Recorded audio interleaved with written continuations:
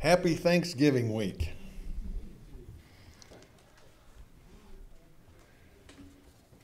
We're going to be talking about manna burgers and roasted quail today.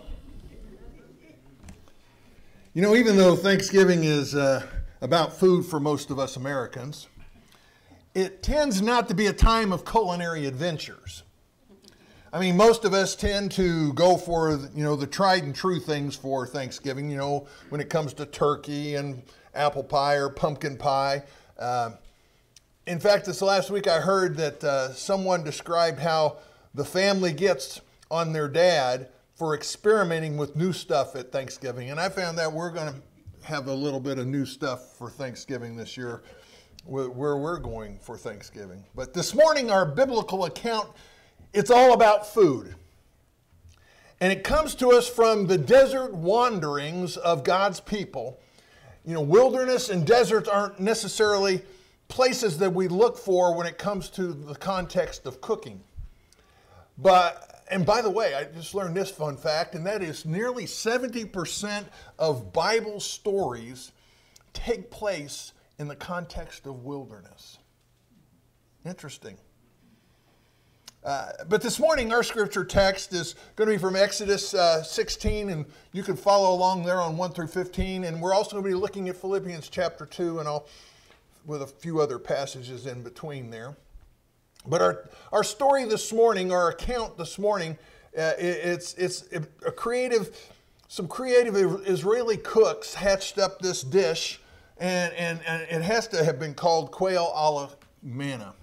Uh, I mean, I'm, if you had fast food back then, uh, Hebrews probably, you know, Hebrews fast food restaurants probably didn't have manna burgers, even though Keith Green wrote about them and sang about them. But, you know, you could if you couldn't get a manna burger, at least you could get roasted quail. And the Hebrew people were on this long march between Egypt and the land of Canaan.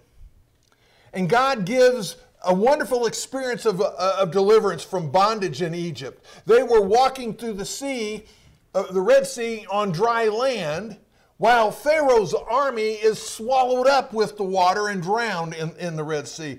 They celebrate by singing and, and dancing, and you can read about that in Exodus 15. And the euphoria quickly turns to complaints. The mob of ex slaves pitched their camp at, at Marah, and, and there, that literally means bitter water.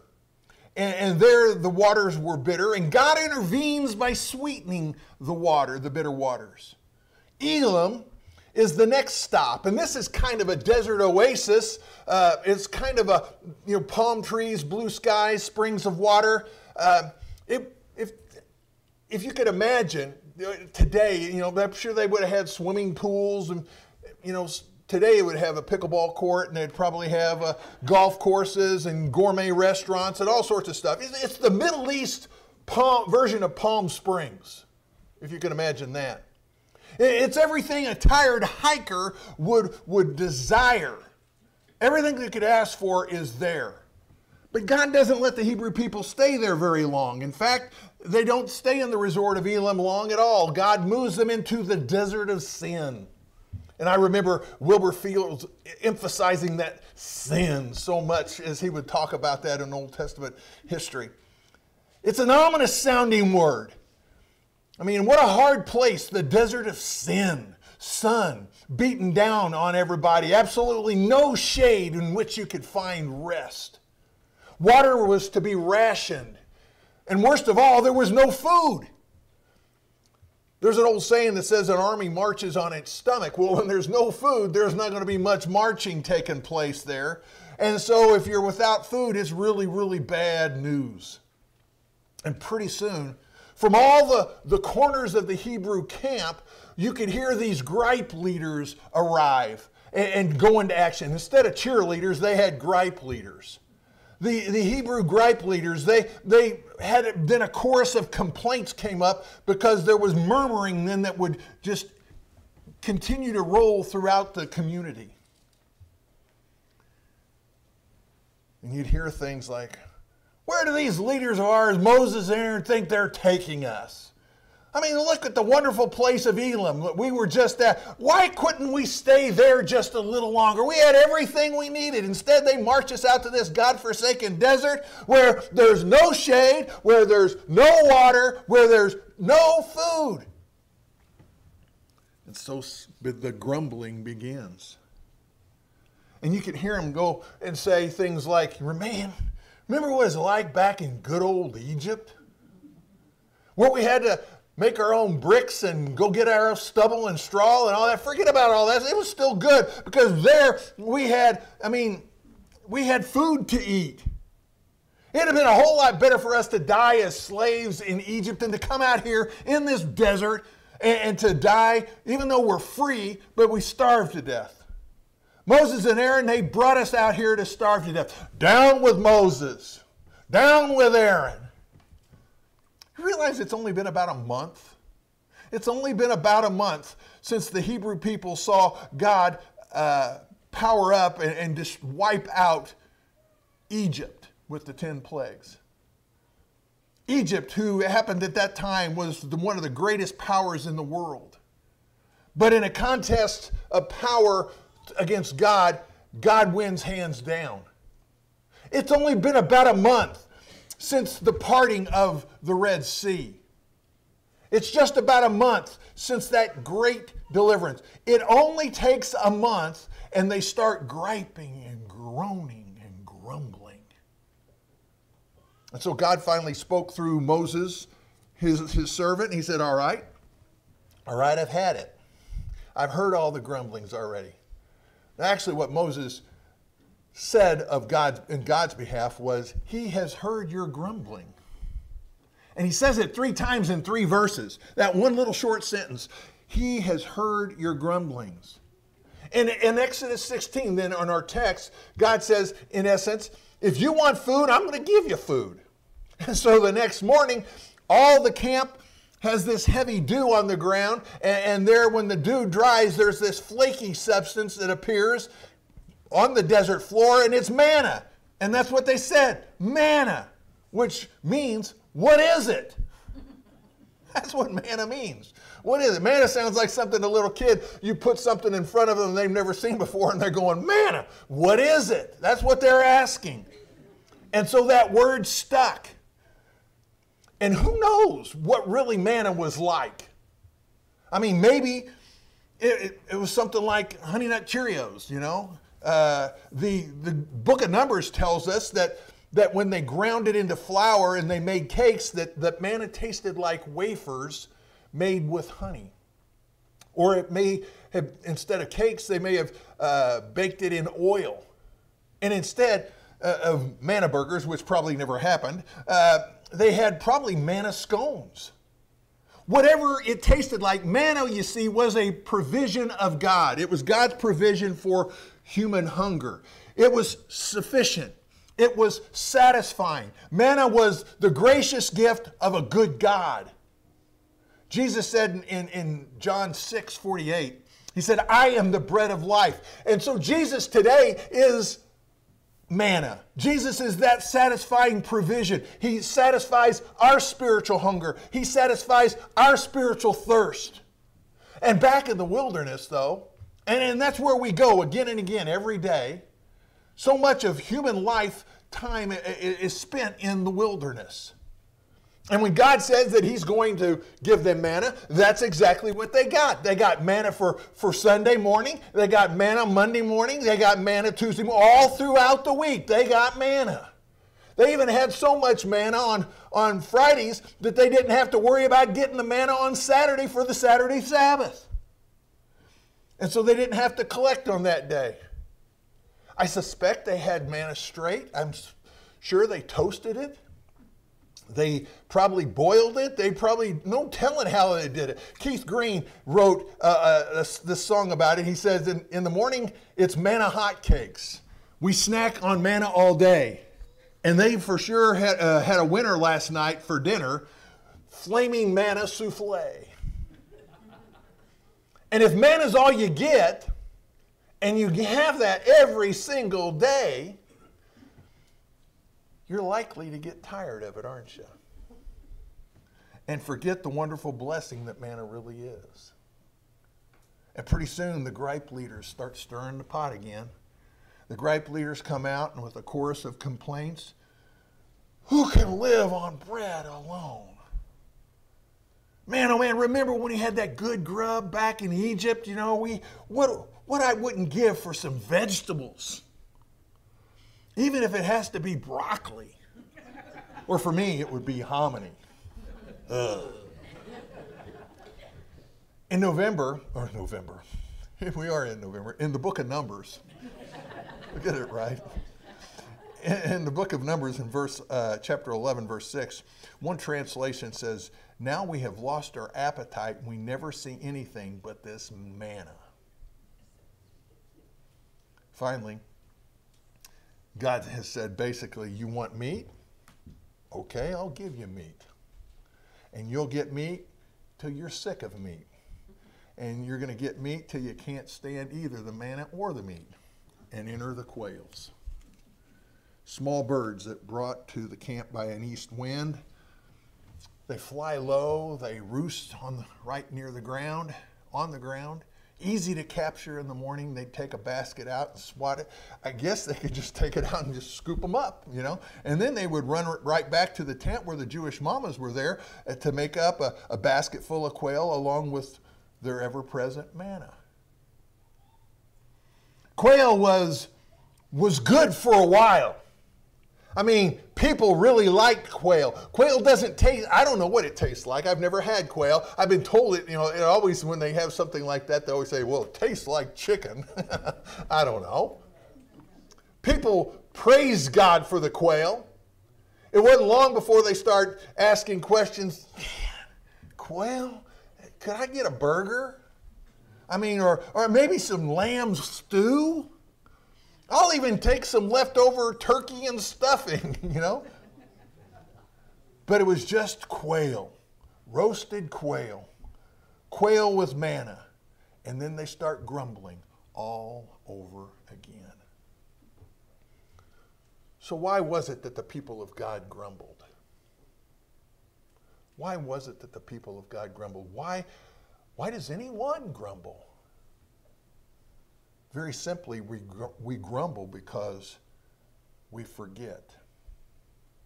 Grumbling is forgetfulness.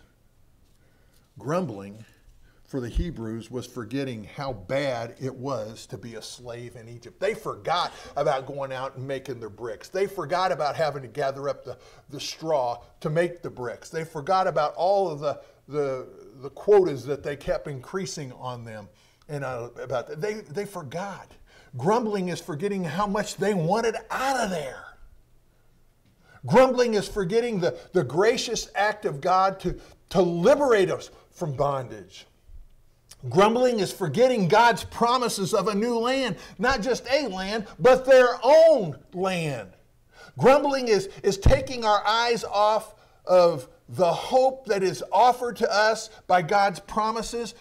Grumbling is selective forgetfulness, remembering only the good things from the past and forgetting the trauma.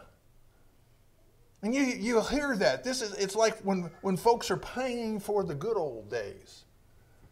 They're, they're always, I, remember hearing about that more stuff as I was a kid about people talking about the good old, remember the good old days of the cool, we'd sit outside in the cool breeze. I'm like, in the summertime when it's hot, I want to be in air conditioning. That's not the good old days going back, you know. Now, it might be if you're out camping by the river and it's cool in some areas, but for the moment here in the city, that's not comfort, is it? But that's what it is. They forget the way it used to be. Keith Green again has the Hebrews singing a, a rollicking chorus. He's singing, Eat, Eating leeks and onions by the Nile. Ooh, what breath. dining out in style. Ooh, my life on the skids. Give me the pyramids. Grumbling is forgetfulness. Maya Angelou, the African American poet, tells of whiners who would come into her grandmother's store in Arkansas. And her grandma would quietly get uh, Maya to come near close when she would have these particular customers come in the store, and she kind of baited them with a question like, How are you doing today, Brother Thomas? Or How are you doing today, Sister, or whatever? And then the person would just gush into complaining. And as she would listen to them talk, she would try to make sure that Maya was paying attention, getting really close. And then after they left, she would have her stand in front of her. And then she said if she did this a thousand times, she would have her repeat exactly what these people complained about. She said, You know, did you hear what Sister so and so said or what, you know, Brother so and so was complaining about? And Maya would shake her head. Yes. And then the grandma would say, Sister, to her, there are people who went to sleep all over the world last night poor people, rich people, white people, black people, and they never wake up again. Those expected to rise did not. And those dead folk are going to not, they would give anything if they could just have five more minutes of this weather, five more minutes of, of this plowing. And the person, whatever it was they were grumbling about, and her grandmother would say, You watch yourself. Watch yourself about complaining.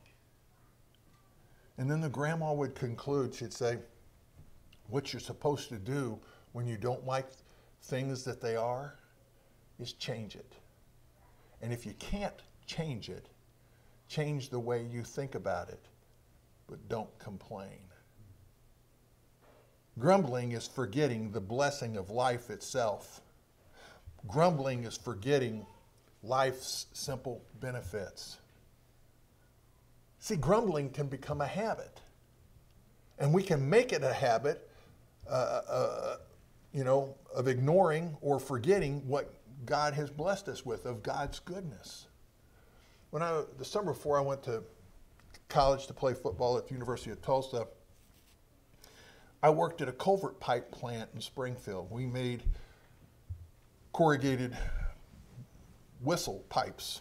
You know, it went and actually all the pipe that we made is down at Silver Dollar City. You know, all those parking lots for the drains underneath. Wasn't inspirational work. I remember though spending a lot of hours punching holes in corrugated cans of steel and then uh, putting rivets in those uh, you know, in those holes, and then they would be punched again. So it was a three-step process, kind of a thing. They had, you know, and we would try to spin it down to two. And it wasn't something I had to think an awful lot about, other than keeping my hands out of the punch, because that was my job, holding the can and then putting the rivets in, and and they would be greasy and oily and slippery. So you know, can imagine what it would be like. But I could think about other things while we were doing this. When I went to the factory every day, I noticed that about most everybody there showed up about three quarters of an hour to an hour early. And they came together, they sat around a table, and they smoked, and they uh, uh, would complain about the work. See, grumbling had become a habit. Uh, it was a lifestyle of forgetting. They weren't. They forgot that they had a job. A man and his teenage son were on a fishing trip several miles from home, so they ad- attended a church worship service at a rural church near where their fish camp was. And as they were walking back to the car after the service, the, the father was just filled with complaints. He's like, Man, that service was way too long, that sermon was boring, and that song service was way off key. And finally, the young boy said to his, they said, Dad, I thought it's pretty good for the dollar you put in the plate. Paul writes to the believers in Philippians chapter 2, verses 14. He says, Do all things without murmuring. Some translations say complaining. Uh, Paul uses the same word that's found in the Greek translation of the Old Testament. The word found is in, in the account here of the grumbling Hebrews, is it's the word that sounds an awful lot like murmuring, but the word is gongamos. Sounds like grumbling to me. I mean, doesn't it? it, it but it's, it's the, like very close to our English word of murmuring. He says, Do all things without gongamos. Do all things without murmuring. See, for grumbling, is forgetting. And that, that not only goes with our relationship with God, but it goes with our relationship with one another. And oftentimes I, I, I murmur about people that I know or have known or maybe are close to me, and I, I, I, forget the good things that they've brought to my life, and I focus on that one maybe negative situation or circumstance or comment or whatever.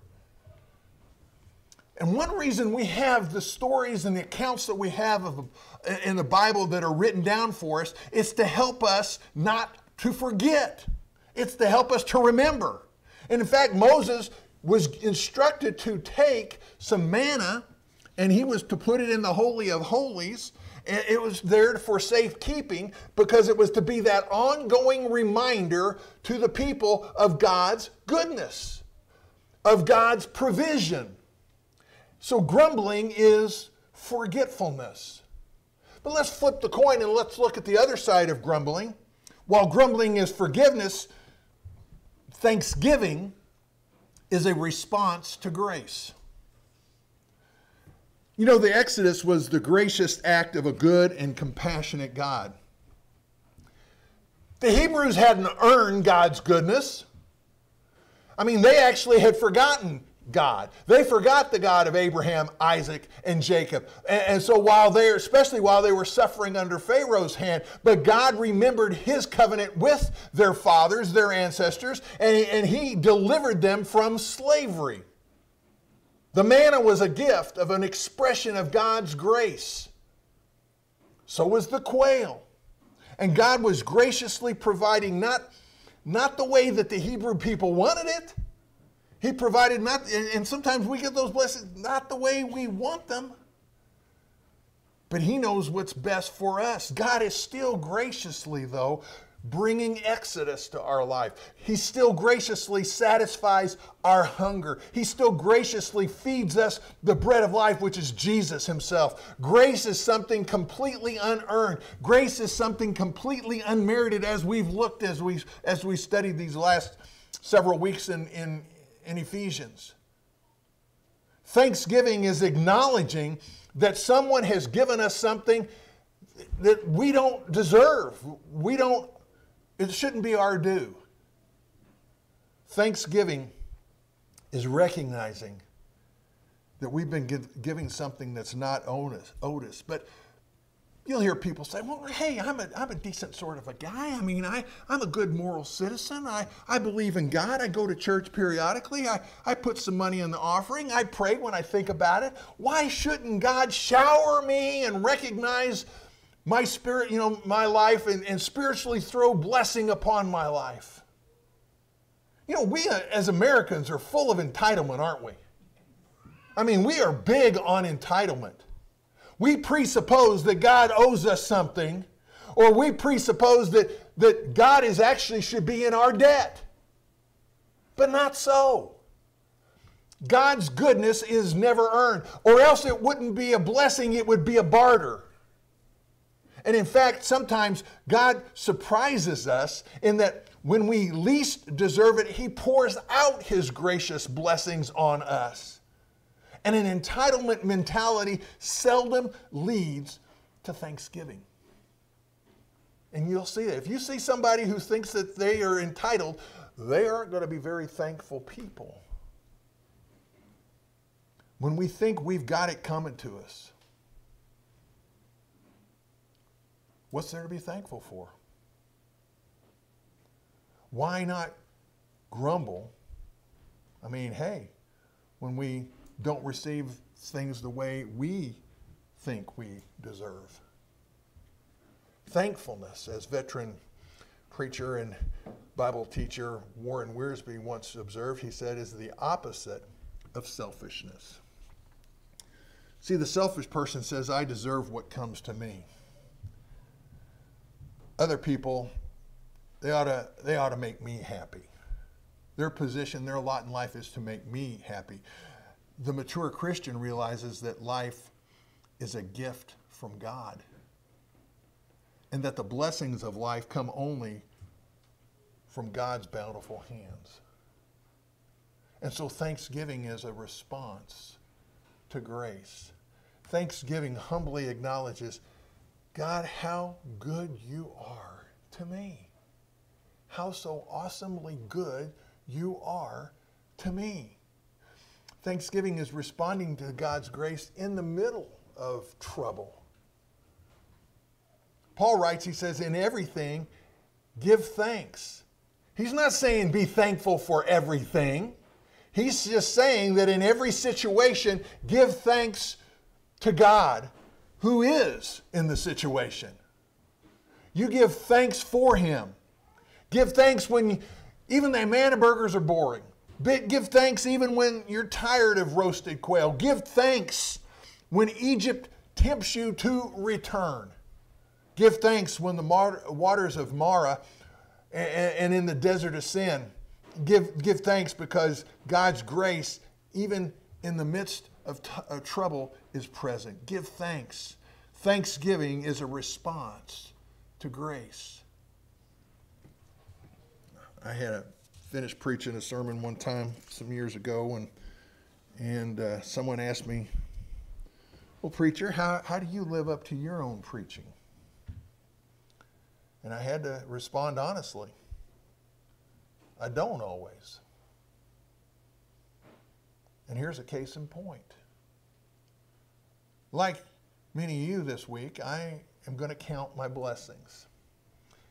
Count them again for the tremendous blessings that life, the life that we've been blessed with.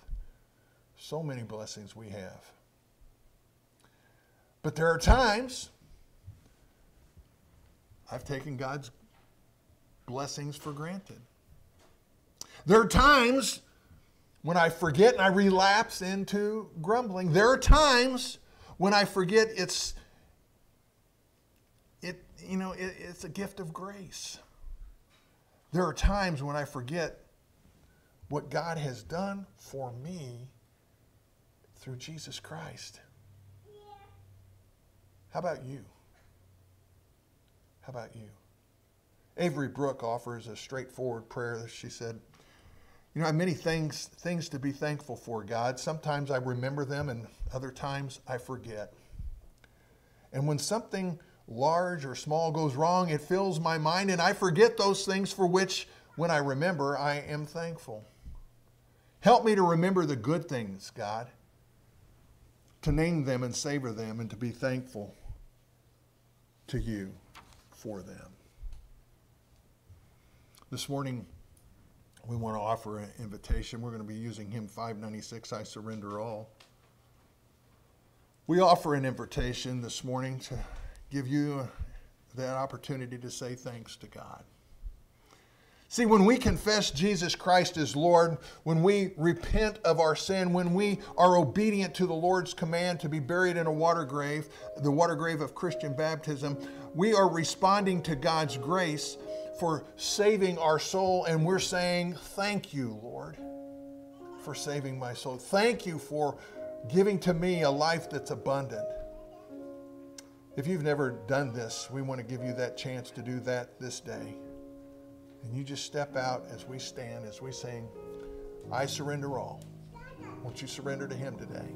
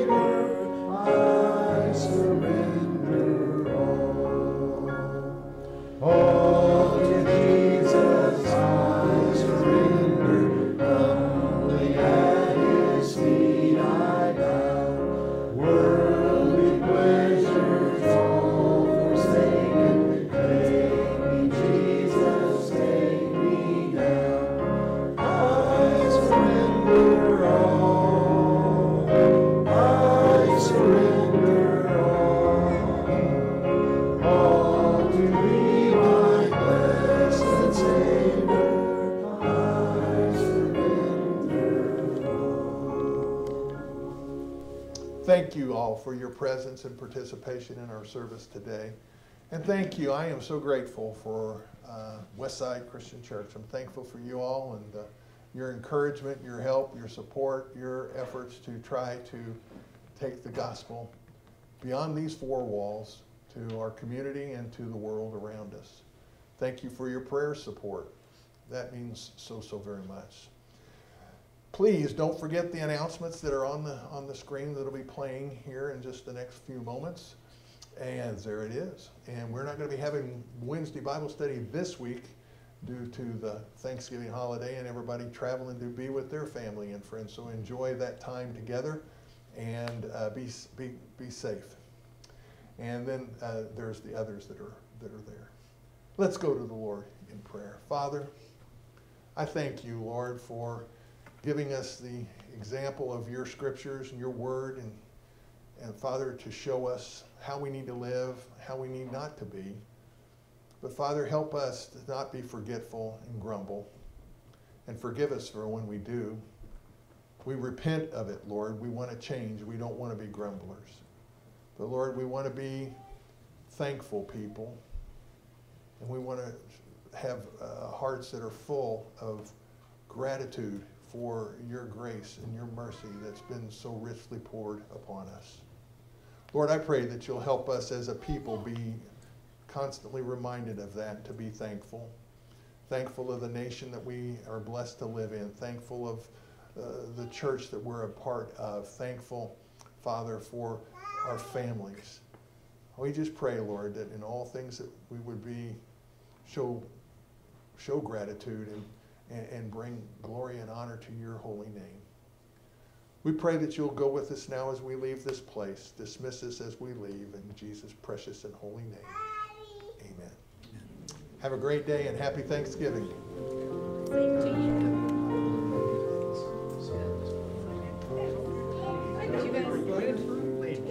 All right, so, uh, nice job dropping a bomb, hinting on whatever you were gonna do that was interesting for Thanksgiving.